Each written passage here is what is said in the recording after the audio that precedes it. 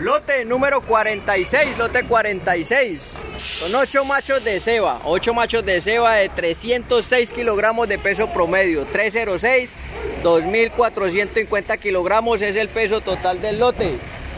Pesados a las 8 y 19 minutos. 8 y 19 fueron pesados, es el lote 46. 4200 pesos de base, 42 de base.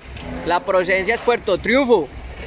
El proveedor suministra información que el lote estuvo en cuarentena desde ayer en el predio, desde ayer en el predio por dificultades con transporte estuvo encerrado este ganado. Vienen de islas de Puerto Triunfo. 4200 de base, 306 es el promedio de estos machos de ceba, son 8, 8 machos de ceba.